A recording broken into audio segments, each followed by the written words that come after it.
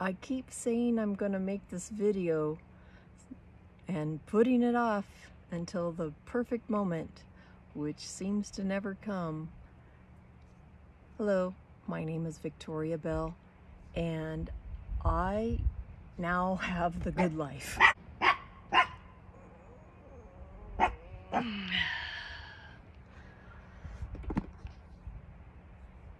All because two little rescue dogs. Uh, one's about 37 pounds, so not quite so little.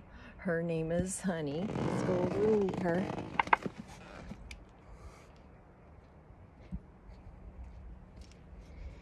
Honey, you want to see how good of a life you have? Is this the good life, honey? Huh? Do you have the good life? Oh, Joey, hi. Do you have the good life? Yeah, you guys have the good life. Yeah, good life. That's what I'm calling it because I'm a registered nurse and I lost my job for rescuing honey. And I'm here to tell you about it. So, God doesn't punish us for doing good things. So you think that losing your job would be a, a bad thing, but God performs miracles. And I want to give you the faith when things look the bleakest. Uh, say, oh my God, this is the life.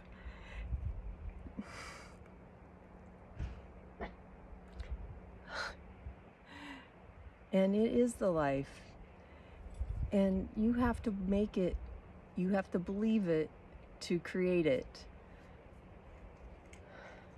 So um, I don't know if I want to go into details about rescuing Honey, but she was um, a family member's jog of one of my patients, and I watched the decline in her care over three or four months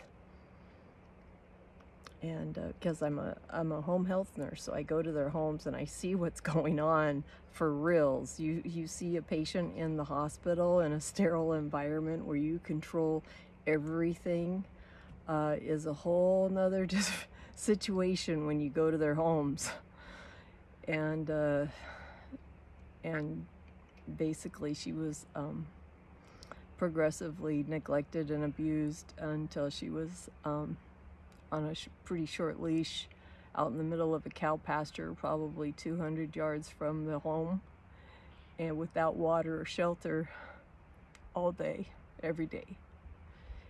And her bones were showing, her rib cage was really prominent, and she would like cower down to me because I'd always go take her a treat no matter where she was. And she was cowering to me with her tail between her legs and she was so thirsty. And I asked my patient, um, I noticed your dog doesn't have any water. And he's like, oh, she'd probably knock it over anyway. And um, that was one week before I figured out a way I could get honey from that situation.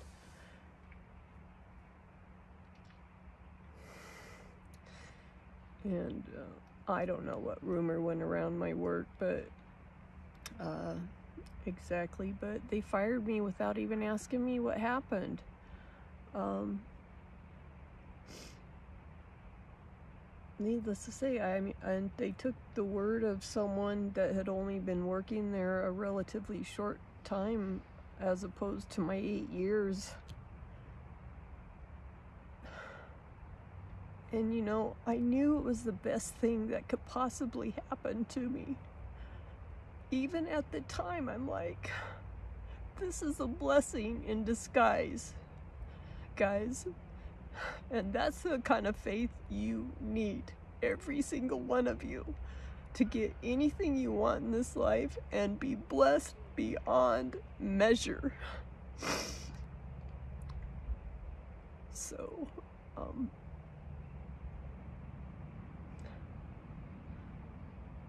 this is where I am now, in the good place. Thank you so much for listening. Please hit the like button if you enjoyed this video so I will be encouraged to make more. God bless. Namaste.